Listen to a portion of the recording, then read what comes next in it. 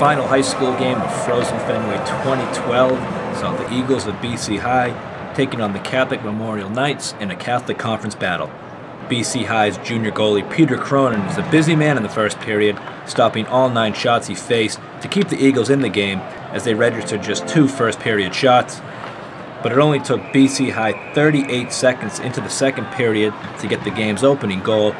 Bartley Regan picks up the loose puck and snipes it off the crossbar and in for a 1 0 lead. Just under six minutes later, BC's Brian Fury gets the puck ahead to Tom Bessinger to start the 3 on 1. Adam Foley finishes with the low wrister as the two sophomores combine for the goal and a 2 0 lead.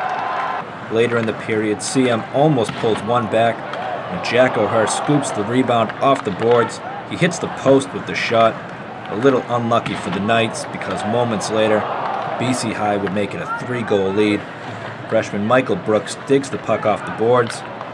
His shot is saved, but sophomore Chris Libere comes from behind the net for the rebound, shot, and score. 3 0 Eagles headed into the second intermission. And in the third period, CM, they hit the post again. Freshman Bo Starrett with the shot, can't get it by Cronin. And seconds later, BC High senior captain Matt Sullivan takes advantage a CM turnover. 4 to nothing is the final. BC High improves to 6 and 1 overall, 2 and 1 in the Catholic Conference. For CM, it's their first conference loss, and they're 4 and 4 overall. We spoke to Sullivan afterwards about the thrill of scoring at Fenway Park. Yeah, I mean, I wanted to so badly, and uh, when I finally got the chance to do it, it felt so good. It was an unbelievable feeling.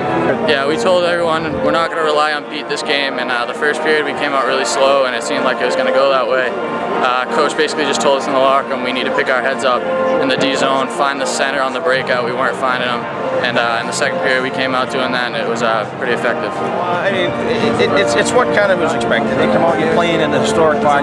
All these kids grew up in the area. I think we were a little bit of awe of where we were playing, uh, and give credit to CM. They come out and they went at it, and they went after us hard. You know, we had to weather the storm there for a bit. Peter Cronin bailed us out as he's been doing all year, and we were able to get our legs under us and kind of get going. Uh, yeah, I think they outshot us in the first. Um, it looked like we were uh, a little bit in awe of the park a little bit. It took us a while to really get into it and get to our game. But um, a lot of those shots, my teammates did a good job of keeping the outside, good angles. You know, big credit goes to them. You know, we really haven't been totally outplayed or really, except for, know, St. Sid's I think did, but our goaltender played great. Every other game we've uh, played exceptionally well. Uh, you know, we didn't play poorly today. You know, we didn't give up the overman situations. Uh, I don't think they had a break, they break away. They didn't have any overman situations. So the system works. It's just, you know, it's not working from the other team's blue line in right now. It was a good experience. You know, we saw it on TV with the whole HBO thing and all the colleges play here. We're all hyped to play here. You know, obviously didn't come out in our favor, but we were still all excited. It was a great day. So many people showed up. Put the game behind you. Just move on every day. We have, you know, we have practice tomorrow. Then we got a game on Monday, and this, you know, we, we can't forget it. We just gotta learn from it. You learn from it, and you just move on. We knew we had to get two points today. It was just another game in the conference, and uh, that brings us above 500 in the conference now, and we're just looking forward from here.